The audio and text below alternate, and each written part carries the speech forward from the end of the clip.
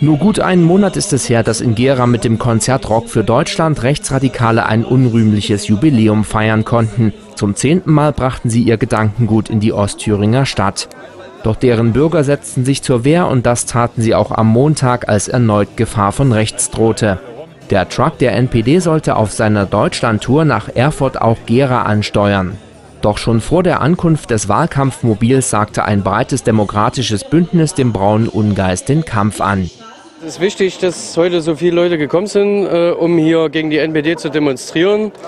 Ähm, sehr wichtig auch im Besonderen, dass äh, in Gera äh, die Leute aktiv sind ähm, und nicht nur, wenn es darum geht, äh, gegen Rock für Deutschland äh, Stellung zu beziehen, sondern auch bei allen anderen Veranstaltungen. Ja, wir sind heute hier, weil wir Flagge zeigen müssen, unseren Standpunkt äh, Zivilcourage zeigen. Wenn die NPD hier aufmarschiert, müssen wir eindeutig zeigen, dass sie hier unerwünscht sind, dass wir nicht nur versuchen, mit gerichtlichen Mitteln dagegen anzugehen, sondern dass wir hier sind und zeigen, wir wollen die NPD nicht in Gera haben.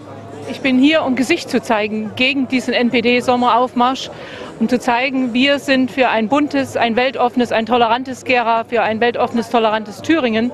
Und wir brauchen keine braune Soße hier in dieser Stadt. Und deswegen bin ich hier, das zu zeigen. Da es in der Landeshauptstadt Erfurt schon blockiert wurde, fuhr das NPD-Mobil mit einiger Verspätung in die Gera-Innenstadt ein. Auf die gut 2000 Gegendemonstranten, die sich bei Rock für Deutschland den Rechten entgegenstellten, kam man zwar diesmal nicht, aber mit einer Sitzblockade schaffte man es trotzdem, dem NPD-Truck den Zugang zum Marktplatz zu verwehren. Die Rechten planten kurzerhand um und bauten sich am Johannesplatz auf.